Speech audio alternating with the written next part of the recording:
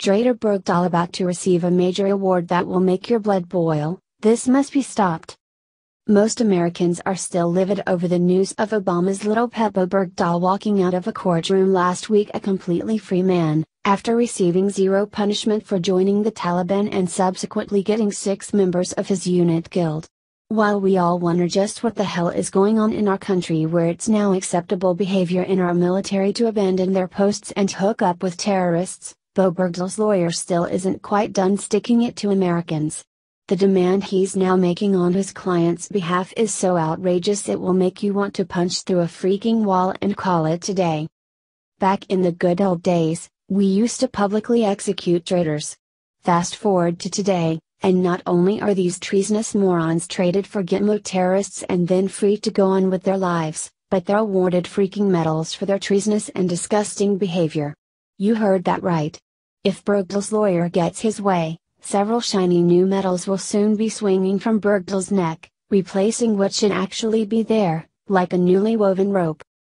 According to American Newshub, after outrageously being allowed to walk free of his desertion charges, the lawyer for traitorous Army Sergeant Bowe Bergdahl now wants the Pentagon to award him with some of the service medals he would have been eligible for if he had served with honor.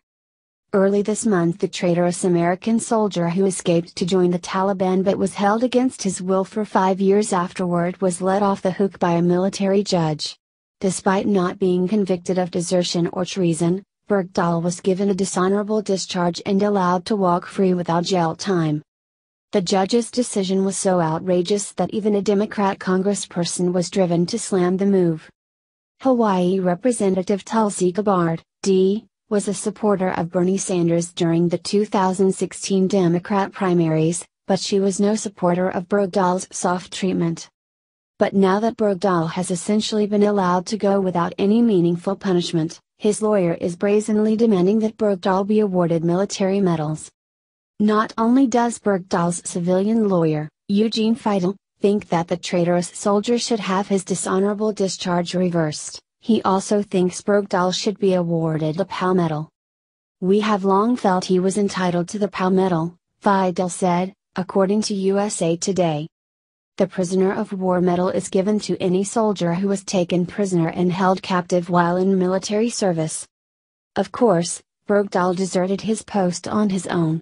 His being grabbed by the Taliban is incidental because the traitor had already abandoned his service before being captured. Still, during his trial, his defense team even insisted that he should get the POW medal so that it wouldn't look like the government was biased against him, a weak claim if there ever was one. In January of last year, his military defense team demanded he be awarded his medals, too.